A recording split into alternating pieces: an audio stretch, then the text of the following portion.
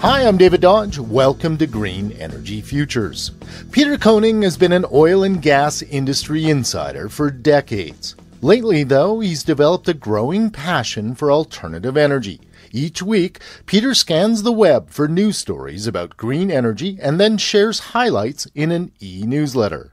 It's just a way for me to learn about these areas of wind, solar, energy storage, distributed generation, all those kinds of things Peter calls his newsletter Energy Shift.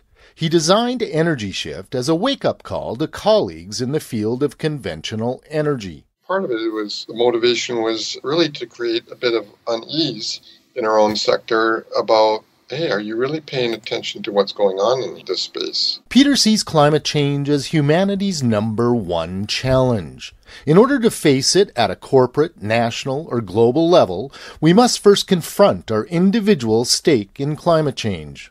Hey, we know that the balance of evidence is pointing to anthropogenic global climate change. And so let's acknowledge that.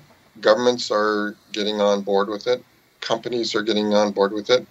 The challenge, I think, now is is often at the personal level. Are we really acknowledging it? Through his online research, Peter's often electrified, pardon the pun, by rapid progress being achieved elsewhere in the world. The pace of change can be daunting, particularly when we cast our eyes on Asia. Boy, that's the thing to watch China and India, but China especially because of the way that they approach things and the mandates that they can put in place and just make stuff happen.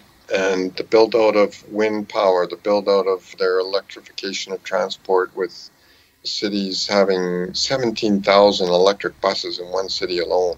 Peter's particularly excited by the idea of distributed generation. Businesses and households installing small scale wind and solar and feeding their excess energy into the grid. It's the wave of the future, but Peter worries we'll be left behind. I see in Canada far less use of those kinds of tools by utilities than in other parts of the world. And my question remains why?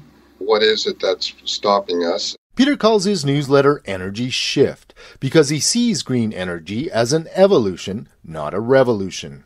In Alberta's case, 100 megaton limit provides some room for us to grow, to innovate, to bend the curve on emissions, and still be able to go about our work of providing affordable energy to the globe. And so, in this case, we can look after both the climate and the economy. And that's why I think you're seeing companies support it. As a career oil and gas man, Peter might seem like an unlikely advocate for alternative energy, but his reputation in the oil and gas industry helps him reach those who might otherwise resist the concept of climate action. Because it is more polarized environment. People are, I think, increasingly in their own camps, and I think to be seen as an oil and gas guy that's paying attention to these things has helped to open up conversations that I might not have had otherwise. And I'm learning from it, and I think vice versa. Energy Shift attempts to navigate polarized waters with a message that both conventional and alternative energy resources are a way forward economically and to combat climate change. To sign up for your own free subscription to Energy Shift, simply visit stewardingenergy.com. Meanwhile, check out our photos and blog at greenenergyfutures.ca. For Green Energy Futures, I'm David Dodge.